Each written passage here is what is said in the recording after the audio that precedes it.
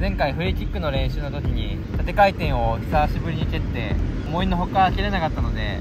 今日は縦回転だけ練習していきたいと思います、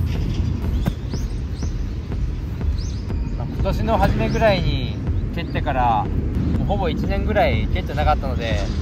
練習していきたいと思います。